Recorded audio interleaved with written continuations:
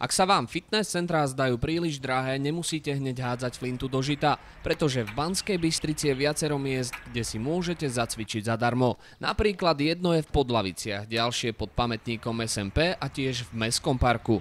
Teraz pribudlo ďalšie na sídlisku Fončorda oproti plážovému kúpalisku. Je tu 12 strojov, ktorými dokonale môžete spevniť svoje telo. Preto sme prišli sem aj my.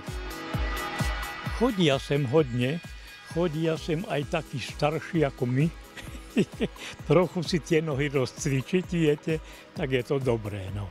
Dobre, lebo ľudia majú kde si ísť aj pocvičiť, aj oddychnúť. Je to ťažké?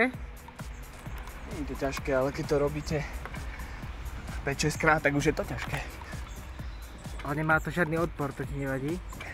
Či to tak slaví? Ale veď odpor je všade. Aj vzduch robí odpor.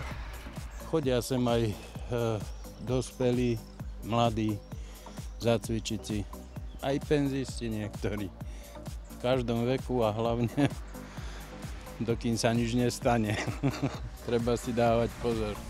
Paľo, nebolo by lepšie, keby si predsa len sa radšej na tú preliesku? Dobre na tom je, že sú tu preliesky a keď nevládzete, môžete si oddychnúť. No, ešte musíme pocvičiť, pretože môj zadok tam nevojde.